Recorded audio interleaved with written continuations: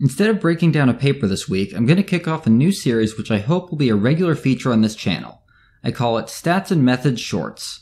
In this first one, we're going to talk about an important issue to me, statistical significance versus effect size. Statistical significance is, in essence, the likelihood that what you see in your data is due to chance. In any given study, the sample we take can be quite representative or quite not representative of the general population.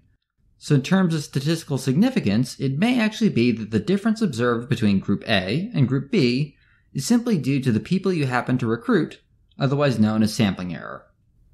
To then measure statistical significance, we do a bunch of fancy calculations to get what we call a p-value. P is the probability that our finding is due to sampling error. As a general rule, we consider findings statistically significant if p is less than 0.05. In other words, we want to be at least 95% sure that our finding is not simply due to chance. However, statistical significance isn't the end of the story. We also want to know how big our effect actually is, and for that, we have effect size. Effect size is exactly what it sounds like. It's a measure of how big our effect is, or in layman's terms, how much we should care. There are many different ways we can measure effect size, but I'm just going to run through the four most common in psychology. First, we have Pearson's R. R is a correlation coefficient that can range from negative 1 to positive 1 and simply states how related our variables of interest are. The further away from 0 R is, the stronger the association.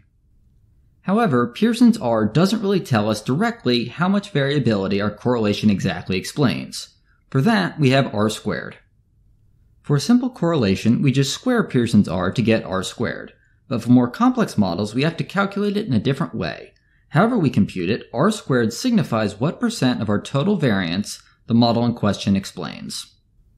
So, if we get an r squared of 0.3, our model explains 30% of the total variance in our outcome of interest. When comparing two groups, we often use Cohen's d to measure effect size. Cohen's d signifies the mean difference between our two groups as a proportion of their pooled variance. For example, a Cohen's d of 0.5 means that our two group means are half a standard deviation apart. However, when we are comparing more than two groups, we tend to use eta squared and partial eta squared. For the purposes of this video, I'm not going to go into the difference between the two.